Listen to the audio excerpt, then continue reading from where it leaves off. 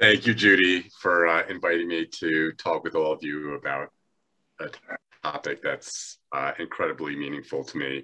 I'm Jeremy Hamburgh, uh, the founder of My Best Social Life, where I am a dating and friendship coach for autistic adults.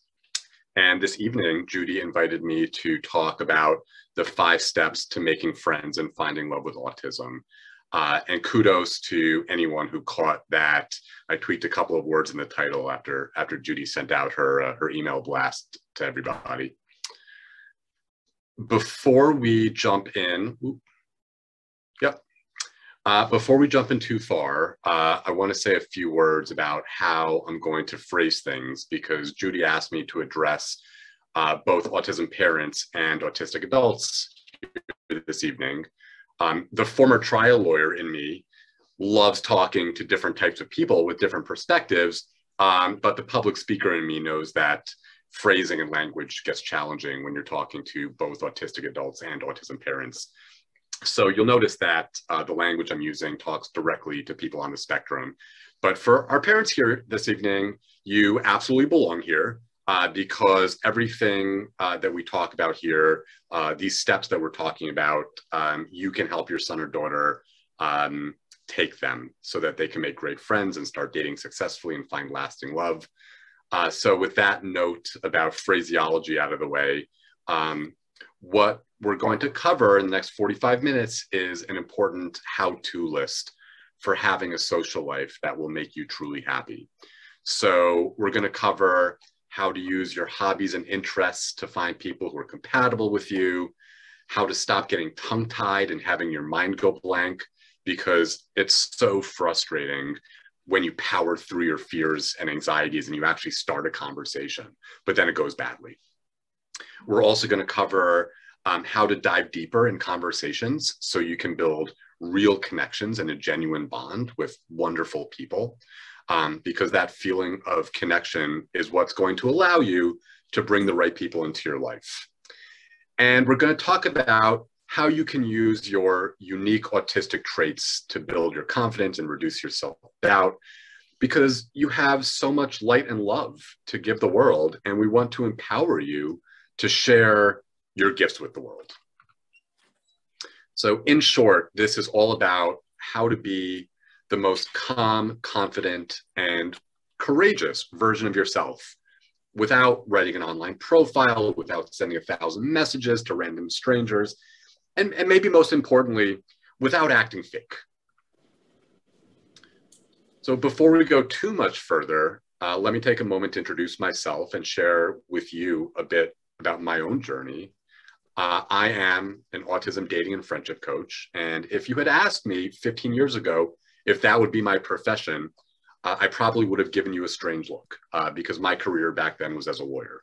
I spent seven years as counsel for JP Morgan Chase Bank and seven years before that as a prosecutor in New York City. And it was around the time that I was finishing law school that I started a social group for young adults in Manhattan uh, because, and not Manhattan Beach, Manhattan, New York um, because I wanted to have a place where young professionals could network. But it became clear that the 200 or so people that would come to each of our events were all single and, and all looking to find love. And it wasn't long before two of our members, uh, my friends Abby and Karen, asked me to teach them how to walk into our events with confidence and walk out with a date. So I spent the next three years learning the science of attraction, everything from psychology to neurology to evolutionary biology. And I combined that with the skills I honed as a prosecutor. Because after all, when you think about a courtroom lawyer, you think about someone who projects confidence, who asks good questions, who tells good stories, who's a good listener, right? Well, those also happen to be four of the most important skills for dating and making friends, according to science. So I combined everything I knew and everything I learned. And I went to a friend of mine who worked at the Manhattan Jewish Community Center. And I said, Hey, Shoshana, let me do a workshop about how to be successful at dating. And she said, Fine, Jeremy, as long as I don't have to pay you. And I said, It's a deal. Um, so I ran my workshop and it was so popular and, and, and, frankly, so innovative that the Manhattan JCC invited me back five or six times. But what I didn't know was that the Manhattan JCC was also home to three special needs organizations at the time. And their members were coming to my dating workshops. And so the three special needs organizations heard about me and they invited me to do workshops specially for them. And I did. Uh, and one of them, the well known adaptations program at the Silver Center for Special Needs, um, invited me to stay and be their in house friendship and dating coach, which I did. Um, and over the course of three years, I taught a variety of workshops and courses about dating and building friendships um, at adaptations that were tailored specifically to people with autism and other neurodiverse disabilities. Um, a big point of pride is that a groundbreaking film actually came of it. Um, before anyone was talking about Love on the Spectrum, everyone was talking about the award winning movie called Keep the Change. Uh, if you haven't seen Keep the Change, it features autistic actors David Polansky and Samantha Elisofon, and it's a fictional story about them meeting at an autism support group and starting a romantic relationship. Well, David and Samantha were students in my dating workshops. And the director of the movie, Rachel Israel, screened the film for the first time ever um, in our group. And, you know, I think a big reason why the film received so much critical acclaim was because it felt like a novelty to watch autistic people dating and finding love. And I felt equally strongly that it shouldn't be a novelty. So I spent the last 12 plus years cracking the code to social success and ending loneliness for people with autism. And the way I do it is with an approach that doesn't exist anywhere else.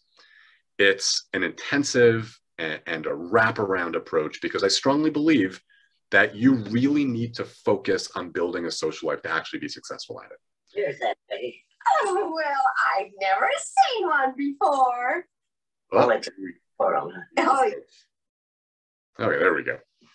So everything uh, starts with a strategy session.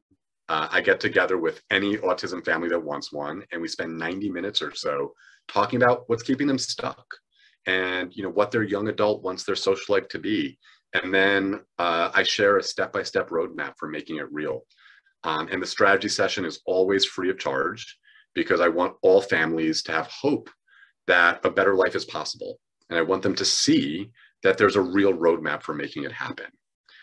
And for the young adults who are you know, truly committed to starting friendships and building relationships, I offer a program called Social Life 360, which is absolutely life changing for the families that join. Um, the moment that a family joins the program, their young adult just gets bombarded with welcome messages from our other clients, and their parents get welcomed by the other moms and dads in our community too. And then we get to work. Uh, my clients spend uh, 12 weeks learning our social strategy and bringing it into the real world. Uh, and it boosts their confidence and reduces their self doubt. And together we build this incredible plan just step by step for where to go to meet new people and how to approach them and how to have a, a great conversation with them and then how to turn those conversations into hangouts and even dates. Um, but my favorite part of our program by far uh, are Wednesday evenings when I get together with all of my clients and all of their parents on a Zoom call, and all we do is celebrate their victories, big and small, together. And the energy is incredible and it's so uplifting.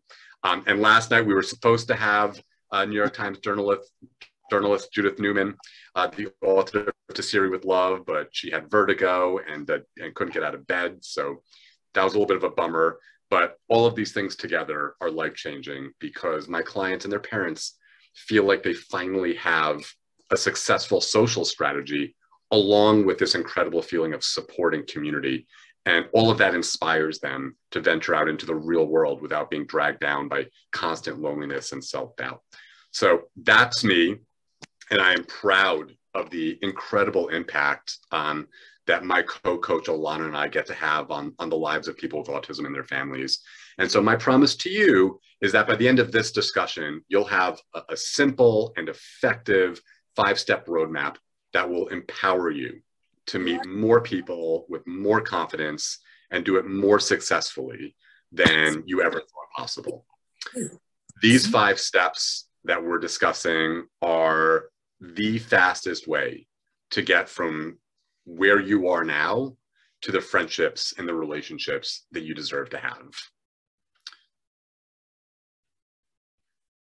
But for you know most of you right now, I suspect that that you're here tonight because socializing is a struggle. Um, for many of you, the reason why is because meeting new people, bringing them into your life, and keeping them there can feel overwhelming. It can feel like each part of the social process is its own riddle that you need to solve. For many of you, you're you're puzzled by where to go to find people you'll enjoy. Most people on the spectrum don't want to go to bars or clubs. Maybe you're nervous about going to a new place and seeing new faces. Maybe you're anxious about walking up to someone you've never met before. And a big part of the reason for that might be that you're afraid of being judged and then rejected again for the millionth time. And maybe you're even a little bit jealous that other people are, are chatting and connecting and having fun, but you're not. And there's no worse feeling than watching other people enjoy themselves while you're just struggling. And, and worse, maybe you're frustrated that you don't have any idea what's going wrong. For many of you, you may have already gotten to the point where you aren't motivated to try anymore because socializing just feels like a chore to you. And, and as Dr. Dave Caudel uh, told my clients when he spoke to our community, you're just tired of struggling to poorly imitate what other people do so easily. So as I said, you know, when you think about building your social life, it can feel like there's an endless series of riddles that separate you from the friends you want to have and the girlfriend or boyfriend you want to meet. And maybe the most important fact of all, something that I hear from adults with autism every single day, is that you feel like you've tried everything. I need to do And everything has failed. Africa and next stop, Christmas. That's it. Love around the world marathon. There we go. The years of struggle are, are real, but it, it isn't anyone's fault and, and certainly not yours. Um, until recently, nobody had any real idea how to help with someone, you know, how to help someone with autism build a social life.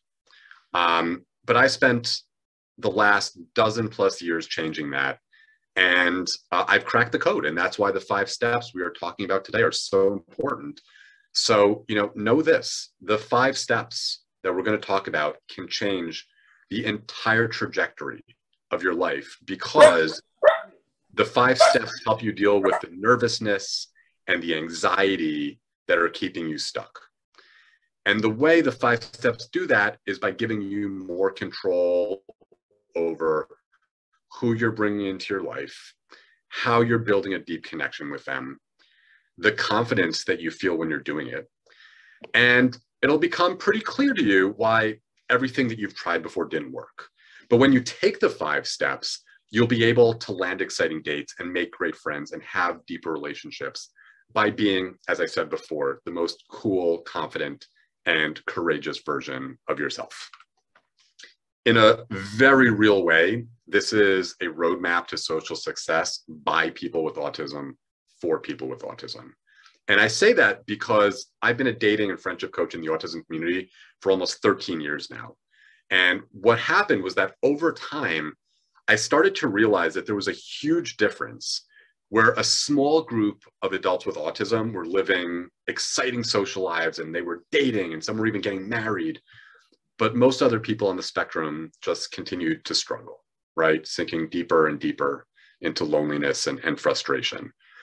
So I began learning from that small group of successful autistic people and seeing what they were doing. And then I compared that to what all the other lonely people were doing. And here's what I found. It became clear to me that there were five things that socially successful people on the spectrum were doing that everyone else wasn't. I started calling them the five steps, and I began building those five steps into the strategy that I gave my clients. And what happened to them was was truly nothing short of amazing. My clients started making friends faster and going on dates and finding love. Some of my clients even got engaged and married. And so, you know, I have immense gratitude to you, Judy, you know, for inviting me to share the steps with you and with this community because I am passionate about ending loneliness in the autism community. I think about it from the minute I get up to the minute I go to bed. And I want to see, you know, all of you and all of your sons and daughters live their best lives. So let's get started with the first step. The first step is to picture your storybook ending, uh, which is a fancy way of saying that it's important to understand what you want your social life to look like and who you want to be in it. I live about 20 minutes from Disneyland now, and many of you do also. So let's use an amusement park analogy. Um, imagine for a moment that you're standing at the entrance to your favorite amusement park Disneyland, Knott's Berry Farms, Legoland, whichever. And what I want you to do though is imagine that as you're standing at the park entrance, a nice family walks into the amusement park. And that family stops a few feet from where you're standing. And you overhear the parents ask, What ride do you want to go on first? And the child says, A fun one. Well, the parents now have a problem, right? Their child has a genuine desire to go on a fun ride in the amusement park, but the child's answer is not very helpful because every ride in the amusement park is a fun ride. So the parents have no idea where to start because they have no way to narrow down the options, which is a very good analogy for what I see in the autism community every day. Every day, I do three to four strategy sessions with autistic young adults, very much like you, very much like your sons and daughters. Um, and I ask the same question every time What do you want your new friends and your new relationship to be like? Well, years ago, when I first started asking that question, I thought that your peers would be giving me very long answers. I thought that people would have this well thought out vision of what they wanted their life to be, you know, right down to what they wanted their girlfriend and boyfriend to look like and to dress like and what they wore and, you know, what TV shows they watched. But, but I was completely wrong. Okay. I literally could not have been more wrong. When I asked people during our strategy session what they want, many people have no answer at all. They just don't know. They just don't know what they want. And for the ones who do, their answers are usually really short. Things like, I want someone nice. I want someone who'll appreciate me. I want someone to do things with me. Obviously, those are real desires, but they're not at all specific. So here's the problem that lack of clarity and specificity about who they want in their life makes it nearly impossible to start searching for someone good, someone compatible. Does that, does that make sense? Going back to you know our amusement park analogy, knowing only that you want someone nice, someone who will appreciate you, who will do things with you, is basically the equivalent of someone walking to an amusement park knowing only that they want to go on a fun, fun ride. The desire is real, but it doesn't help you narrow down your options or decide what you need to do next. And so, why is that bad? Because here's what I found to be true you can never achieve a goal without having a clear vision of what that goal is. Clarity gives you direction. Clarity about your goal is what allows us to reverse engineer a strategy for achieving it that's why you should know exactly what you want your life to be and who you want in it, because then we can figure out exactly what we need to do to make it happen. And that's true for, for everything in life. If you want to win the Super Bowl again, you need, you need a plan for how to score more points than you give up. It's the same for passing an exam or landing a job. Uh, even baking chocolate chip cookies, you need a plan, right? You need to buy the right ingredients flour, butter, sugar, eggs, chocolate chips. You need to, to mix them in the right order. And if you mess any of that up, then you don't get chocolate chip cookies. You, have a mess. Uh, and, and the same is true for making friends and finding someone special. That's why if you want to bring new friends into your life and you want to attract a girlfriend or boyfriend, then you must have a clear and specific vision of who those people are. And the way that you do that is by having a detailed picture of what your life looks like with these new people in it. And that's why I call the step picturing your storybook ending. It's like a movie in your mind where you're the main character and the rest of the cast are people that you want in your life. So my suggestion to you is this. Start creating this movie in your mind. Start picturing who's in the movie with me? What are the things that we're doing together? Where are we going together? What are the memories that we're making together? And I think this one's important. How do I feel doing it? The more vivid the movie that you make in your mind, the easier it is for us to reverse engineer a plan to make it a reality. Now, will life happen exactly like the movie in your mind? Of course not, right? Life is not a fairy tale, and none of us will marry into royalty. Um, but what I have found to be true is that when my clients shoot for the stars, even if they miss, they still hit the moon. And the same will be true for you. When you set big goals, even if you fall a little short, you'll still accomplish a lot. And that's why this step is so important. Once you can picture what you want your life to be, then we can create a strategy to really make it happen. So that's the first step. So here's where the action begins. Um, the second step is to find your tribe. And that's a fancy way of saying that you should spend your time where the right people are getting together. When I do strategy sessions, there's one question I always ask, no matter what. I always ask, what isn't working in your social life? And almost all of your peers share with me the same problem. They say, I don't know where to go to find good people. Well, I mean, that's a big problem when you're trying to have a social life, right? When you don't know where to go to find the right people, what ends up happening is that you mostly hang out with your parents and your family. And when you're not with them, you spend a lot of time in your room, which usually means that you play a lot of video games or you spend a lot of time staring at your phone, consuming way too much TikTok and YouTube videos and scrolling Instagram. And when you're doing that, it, it means that you're not in the places where your future friends and your future partner are hanging out, which means that you're giving yourself no chance at a happier life. I hope hopefully that makes sense.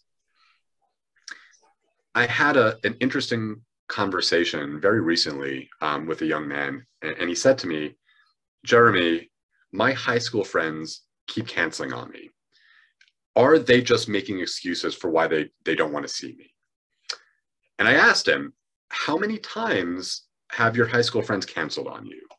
And he said, Five straight times. Well, I'm going to tell you exactly what I told him, which is those high school people aren't his friends anymore. Because here's what science says research shows that there are three essential qualities to a true friendship. They share at least one of your interests or hobbies, whether that's art or anime or hiking or biking or punk rock or even video games, right? Friends share at least one common interest. They also accept you for who you are and they allow you to be your authentic self. They don't think that you're broken and they love you for who you are. And three, they're committed to building and nurturing the relationship with you, which means that they are there for you when times are good and when times are tough. And when they make plans with you, they keep those plans. And this is so important because you want to bring people into your life who have all three of these qualities. If any of those three qualities is missing, then all you have is an acquaintance. And acquaintances aren't what we're after here, right? Because acquaintances don't make you feel complete. So, step two of the strategy is to spend time in the places where the right people are spending theirs, which always leads to the question is the internet a good place to meet people?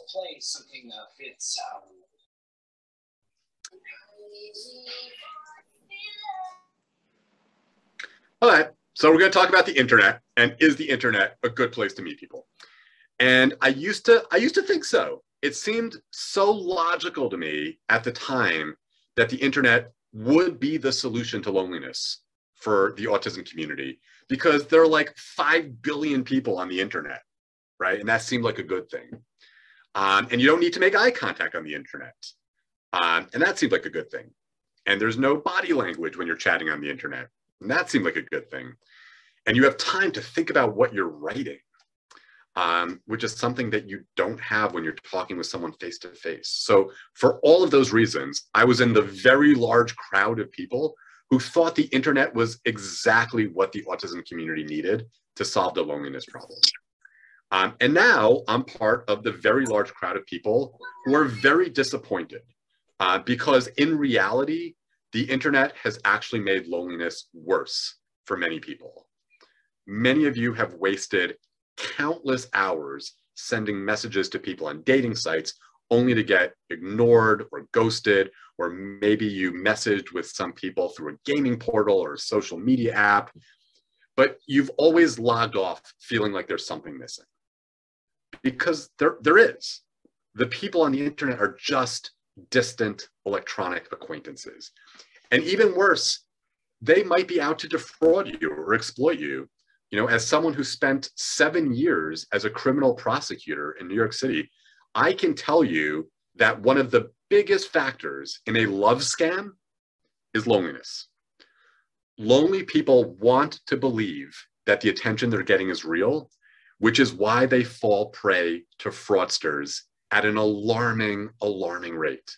And the internet is, is just a really easy place for fraudsters to find lonely people to victimize. Scams aside, autistic people have shared with me that trying to find dates and friendship online is actually twice as hard as it is in real life.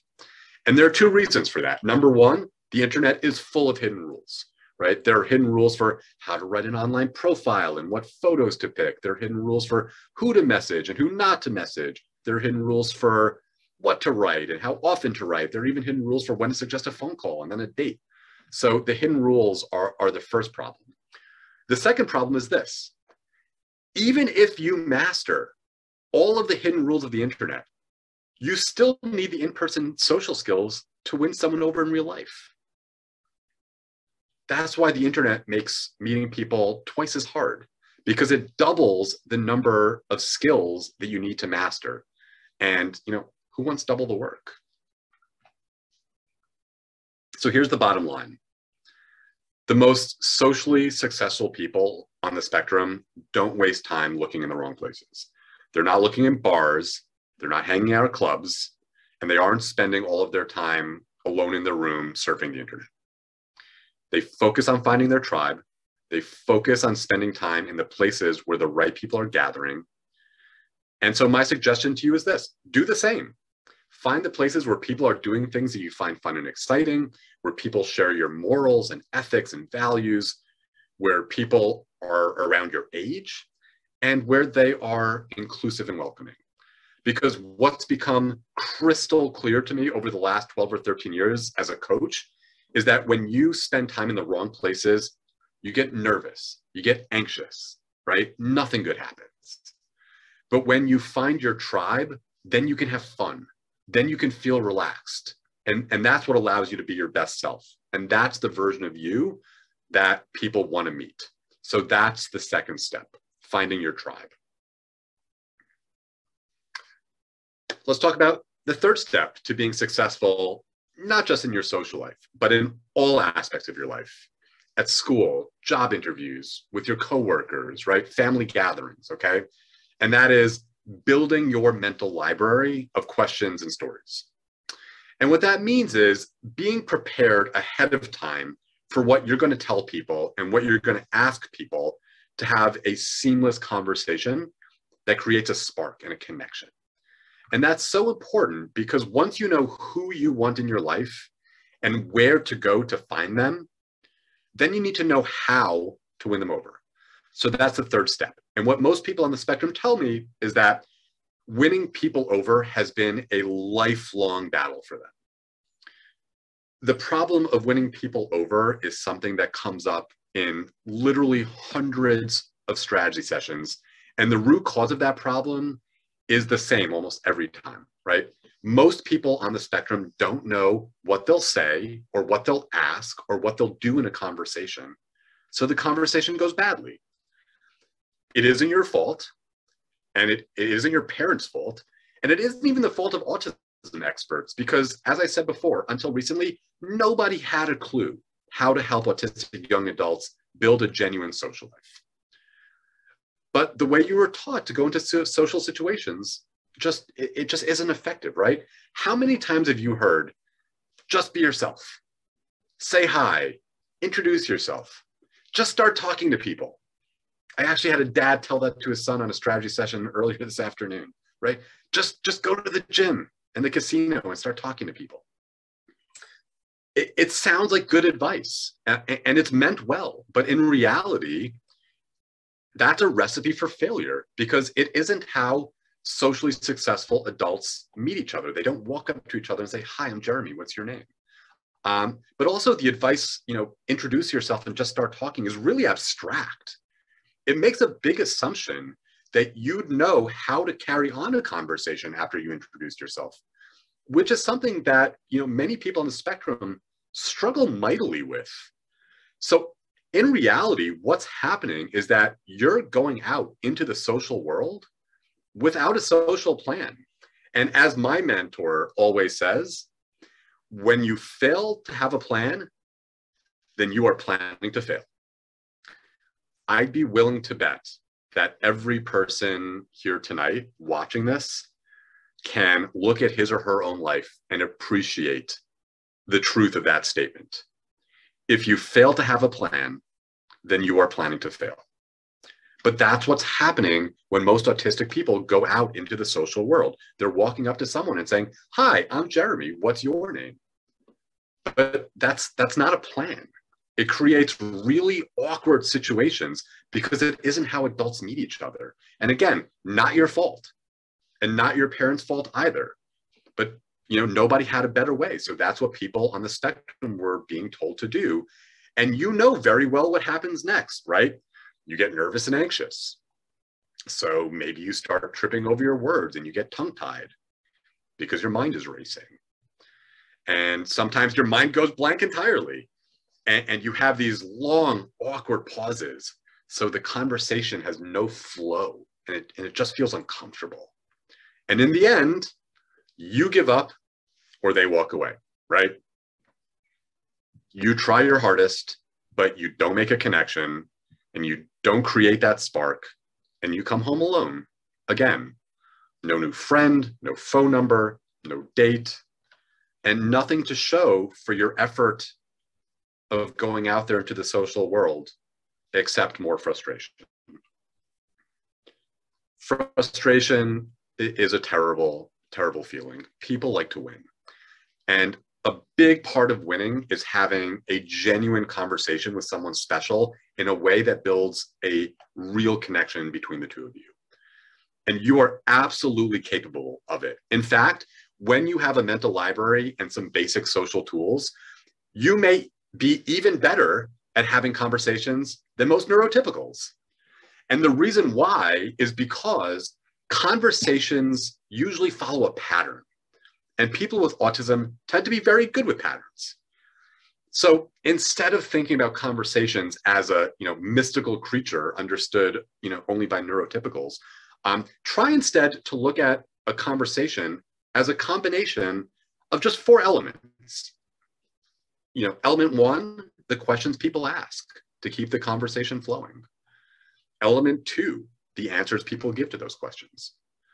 Element three, the stories people tell to make the conversation interesting and entertaining. And element four, the next steps that they decide on, like when they're going to call each other um, or when they're going to, you know, get together to hang out. Um, that's really it.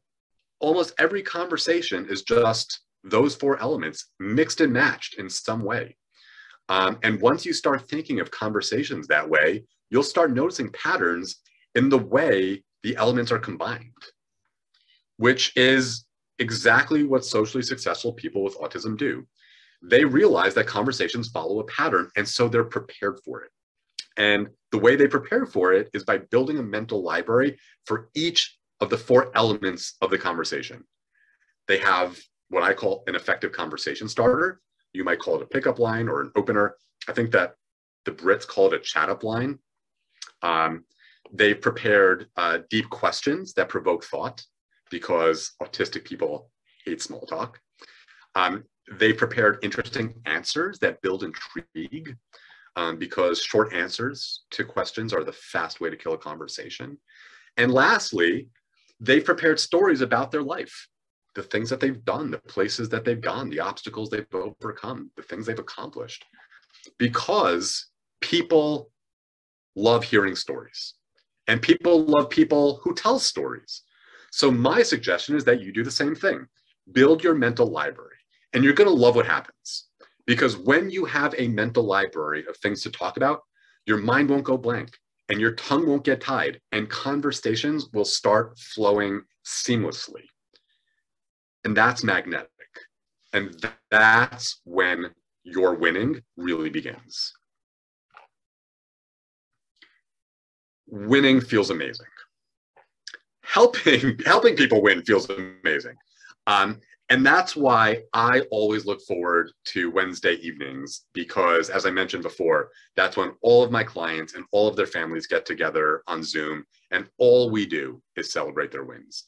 Every client and every parent shares his or her victories for the week, and it's incredibly powerful and, and uplifting.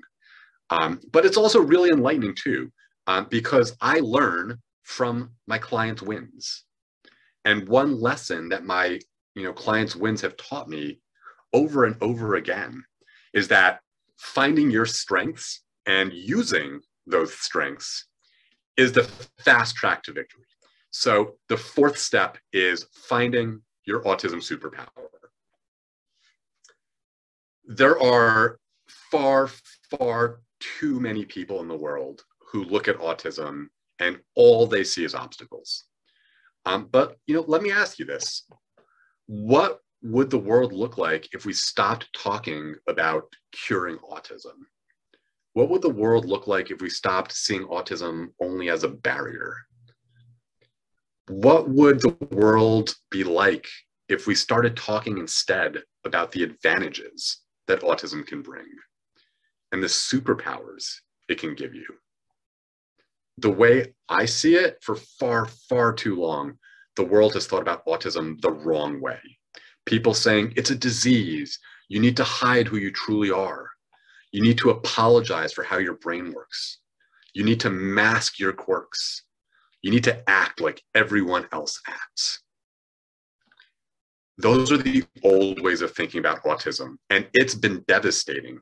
The old ways of thinking about autism have been downright destructive to people in the autism community, and maybe even to you and your family. The old ways of thinking make you feel like you are a problem that needs to be cured.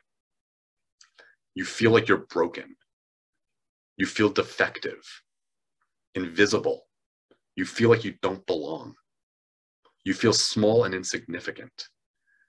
You feel incapable of the social life that you want and deserve.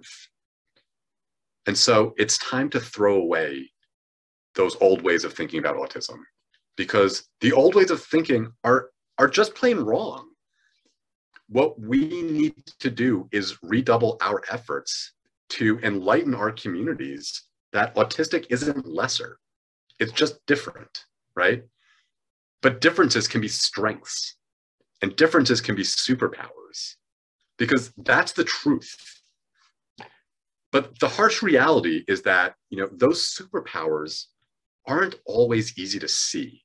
So we also need to redouble our efforts to find your superpowers amidst the challenges. There are so, so many autistic traits and qualities and quirks that people on the spectrum can turn to their advantage. I mean, think about all the incredible light and love that you can bring to people in this world with your honesty, with your integrity, with your loyalty, with your commitment, with your creativity, your inclusiveness, your tenacity, right? Those are all autism traits, aren't they? You have gifts to give people in this world, but too often those gifts are locked inside of you. So let's uncover those superpowers of yours because this world desperately, desperately needs your light and your love and your goodness. autism has come a long way, but there's still more that needs to be done. And we need to start by putting an end to the old ways of thinking about autism. We now know why some people on the spectrum are socially successful. We know their secrets. And I've turned those secrets into a strategy that is simple and very, very successful. It's a 21st century strategy that cracks the code for people on the spectrum, and it can change the entire trajectory of your life too. The strategy begins with knowing who you want in your life and what you want your relationships to be. That's step one, picturing your storybook ending. Then seek out those people by spending time in the right places. That's step two, finding your tribe. Then plan for the questions you want to ask and the stories you want to tell because a great conversation is the spark that creates connection. That's step three, building your mental library. And do all of that with more confidence and less fear and less anxiety because you found your autism superpowers. That's the fourth step. And so now let's talk about the fifth step, right? This is the one that separates autistic people whose lives change quickly from everyone else who just continues to struggle endlessly. What separates the winners from everyone else is the right mentor. Choosing the right mentor is without a doubt the single biggest difference between socially successful autistic people and everyone else who quits. It is the secret weapon of your peers who are living their best lives. And I'm going to share with you something that I wish I had known years ago.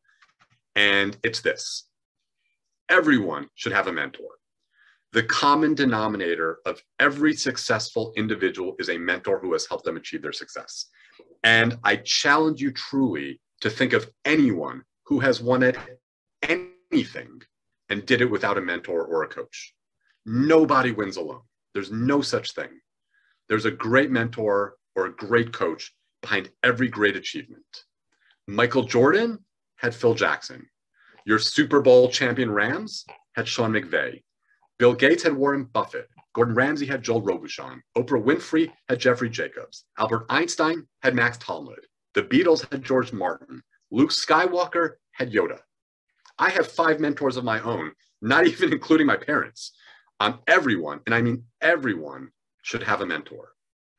The mentor is the difference between success and failure because the right mentor has the recipe that you need for success.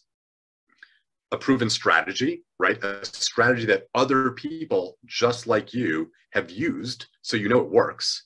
Um, combine that with accountability, because humans have a tendency to procrastinate and slack off when nobody's looking, right? Um, but the right mentor is watching you, and the right mentor is holding you accountable so that you keep making progress towards the life you want to live.